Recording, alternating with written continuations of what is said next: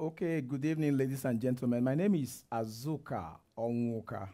People call me Brand Azuka because that is what I have all over the social media, every platform. I am a communicator, a professional communicator. I'm a brand management uh, consultant, a strategist, a journalist, and a personal coach. Uh, I studied English at the University of Nigeria, and then I did my master's at University of Lagos, and then I did my MBA at University of uh, uh, Nigeria. The results is still awaited. I was doing my PhD in Nigeria before I came over to Nova Scotia. Um, in terms of what I have done in community, from my days in secondary school, I was the senior prefect of my secondary school. And when I went into the university too, I was um, the editor and uh, in charge of uh, the Association of English uh, and Literary Students. And when I graduated, I've been in associations, in volunteer in organizations. I've worked for my community, the Nnewi. I'm the president of Organihu Nnewi community. I am now a member of the Halifax Heritage Advisory Committee uh, Committee as a member of the board. I am a board member of Iruka, think tank, which is a think tank for the uh, Alex Ekwueme Federal University in Nigeria. So in all ramifications, I have worked in different capacities. I am an ideas person, a strategist. I am organized in planning things and creating templates.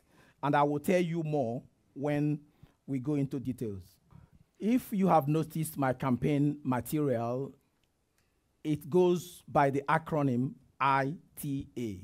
If you remember, if you are, if you came in as a permanent resident, the moment Canada gives you ITA, you know you don't land. That is invitation to apply.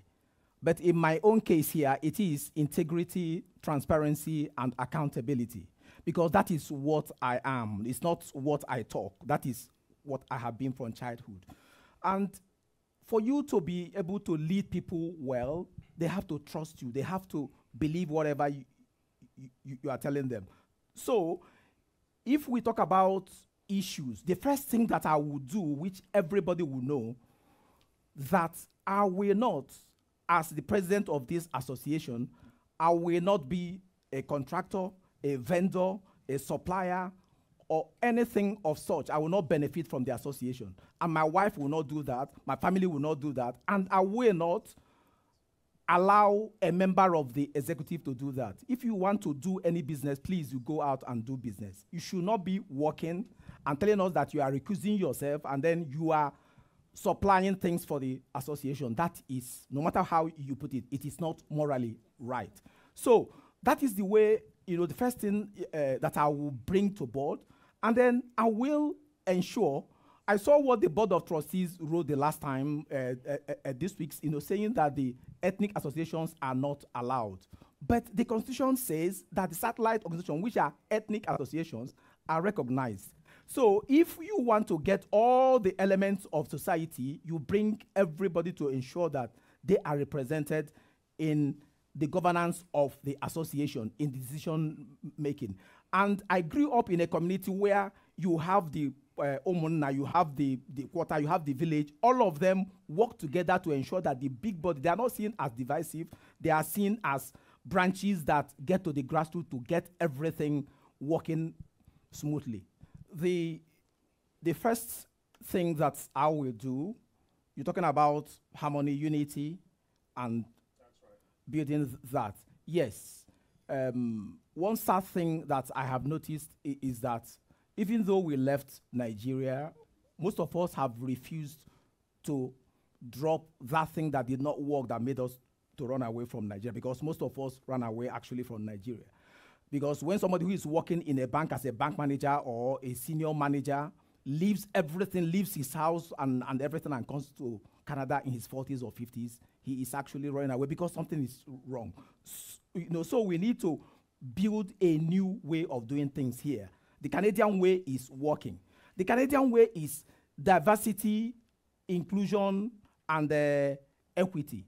Yes, they are doing merit, but they are also using you know diversity to ensure that every uh, organ is represented. One way I will do that, the bylaw, as deficient as it is, has provision for special committees and standing committees. I will form a diversity, equity, and inclusion committee that will ensure that everything that concerns the ethnic groups, which is, it is stated in the bylaw, that is 2.1.25, that ANNS shall recognize every registered satellite organization at the annual Nigerian Independence Day celebration. So the ethnic groups are allowed there, that is to register. Now, we have the satellite uh, in organizations. The best way, I can't teach people how to speak Yoruba. I can't teach them how to speak Ibibio.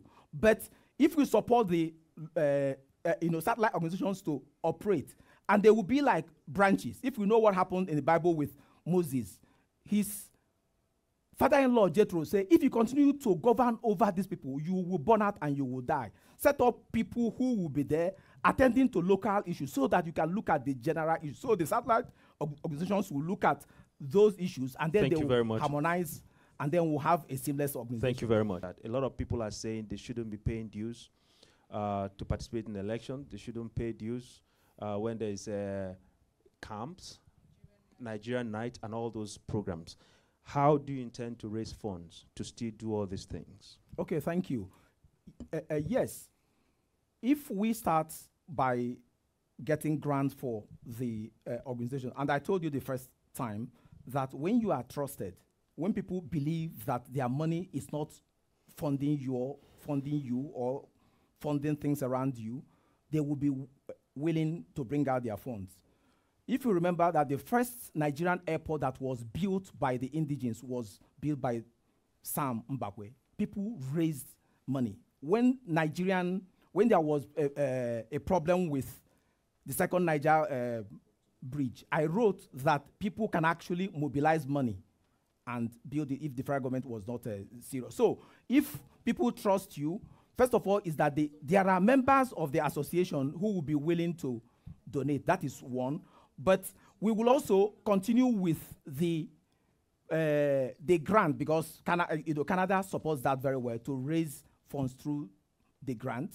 But if we have the funds, there will be no need for Nigerians after getting all that money I will not pay $30,000 to bring out a musician and pay first class to bring out uh, to bring uh, Timi Dakolo to come here and sing for us. When people pay money to come and watch it, the people who pay that money were not the people who actually belong to the association because they could not afford that.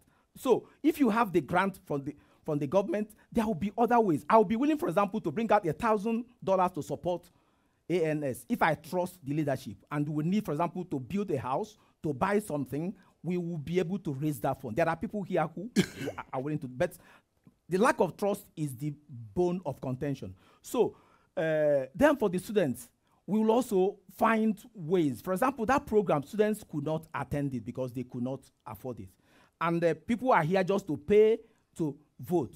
We will organize it differently the most important thing I will do as the president of this uh, association is to create a template. That is what, you know, an organized template. What is working for Canada that made us to leave Nigeria to come here is that they have a system. If a leader like Donald Trump were to be in Nigeria, he wouldn't have lost, uh, you know, the last election. But the American system is bigger than Donald Trump, and he can win again. The president today cannot not stop him because the system is bigger than him. So when we create a, a, a system that is organized, that is understood, and that will be starting from the bylaw, we need a new bylaw. And that bylaw is the one that will state everything we have seen all the uh, phrases of the bylaw. We will review the bylaw to get you know, a standardized uh, document. The bylaw, for example, are you with me? The bylaw, the bylaw, the bylaw, for example, says that the uh, AGM will hold in January, where in March. the bylaw says that the tenure of the executive will be for two years. The last executive was elected in February. We are in March. We don't know when they will take over. So, you know, we have loopholes. We have already broken the bylaw the way i- it is. And we don't even know, you know, if wha- what we are doing. And the law says that anything we do that's not according to the bylaw is null and void. We're already breaking it. So, and we ensure that we have an organized bylaw that will protect, you know, the interests of our, of our people. Uh, you know, secondly, we started this. I was here 30 minutes before the time, and I was the only one with the cameraman. I will kill the Nigerian time and Nigerian spirit. We cannot leave Nigeria and come here and be doing Nigerian. It is in- insulting and embarrassing to us. We must be doing things in, in time. Um, the one is that I will create. Nigeria has the biggest professionals in the U.S. according to you know Obama, and it is also uh, here too. I will create a media group that will help to boost the image of professionals here. Thank you very much. In in about 15 seconds, I don't think you answered the question that was directed at you. You said you were going to be a watchdog. Yes. 15 seconds, just give us a response to Yes, yes. I said that after this uh, election, I will be the watchdog to this to the uh, administration. But when the uh, electorate rejected the president and the treasurer, I, you know, because he was the only candidate, and they rejected him, rejected the treasurer, and the treasurer had the decency to say, "I have been rejected. I won't run again." So now that there is vacuum, I felt that there was a need, and people called me to come out. Uh, you know, first of all, is that I am a professional communicator.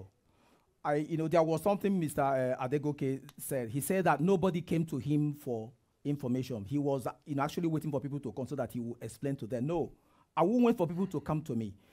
When you leave any vacuum in communication, people will fill it with gossip and rumors. And that is what happens, you know, in crisis management or in issues management. You don't leave any room for. I will be the, we have a PRO, but I will be the chief communicator. And that is that I will be, no, he will be doing his job, but I will be the chief communicator in, in the sense that while he's sending messages and doing, uh, you know, all that, I will be, excuse me, excuse me, uh, you know, uh, uh, no, they are talking into what I'm, I'm saying. So, uh, you know, I, I will be the one reaching out to the media. I told you about the capacity of Nigerians are have the third biggest immigrants in Canada here, according to reports. But we are never reported in the TV. Two years ago, you know, there was a report by CBC that cars are being uh, stolen from here and taken to West Africa. Lagos was mentioned. I wrote to the CBC. I said, you are talking about, you know, cars being taken away. You didn't tell us how they are being taken away. They are not uh, uh, uh, uh, uh, pins. They are large instruments. Two months ago or three months ago, CBC did another report about how cars are taken away from Canada because they were blaming us and not blaming how it was happening here. So I will take that uh, care of. I will do a monthly report. I, you know that was what he was quoting. I was the one who said it a- at the last meeting that I will be presenting monthly accounting, monthly report, and I will also in, in ensure that there is a quarterly in-house, in-person meeting so that we can see one another Thank you. Thank you very much.